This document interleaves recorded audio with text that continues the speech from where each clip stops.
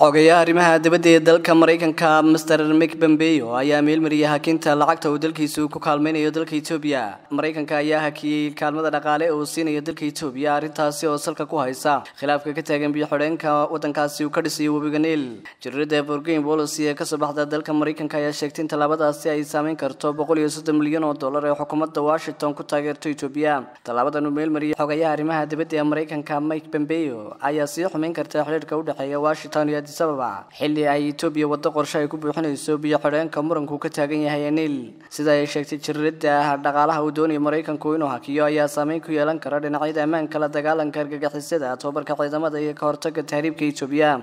jaridda oo soo xigatay mas'uuliyiin ka tirsan koongareska maraykanka ayaa sheegay inay dhici karto in lacagtaasi ay ka yaraato boqol iyo soddonka milyan ee la qiyaasay. Haddii ay dhaqan gasho hakintani waxaa caqabad ku noqon karta nolosha iyo qorshaha ay ku buuxinayso etoobiya biyo xidheenka sida ay qabaan khubarada ka faalato xiisada ka taagan webigaasi mas'uuliyiin ka tirsan etoobiya ayaa hore u sheegay in maraykanku uu xaglinayo dhanka masar oo ay doonayaan in heshiis laga gaaro buuxinta webiga niil. Masar ayaa ku doodeysaa in biyaha webiga niil ay u leeyihiin mudnaan amniga qarankeeda mid ka mid ah waxaana warbixinada jimcihii julaay daabacay maxadka qorsheynta qaran ee dalkaasi lagu sheegay in labiyo toban oo ka mid a kalluunka ay dabar go'i doonaan biyo xidheenka webiga awgii wadaxaajoodkii ugu dambeeyey ee wasiirada arrimaha dibadda ee dalalka etoobiya masar iyo suudaan ay jimcihii yeesheen ayaa ku soo dhammaaday natiijo la'aan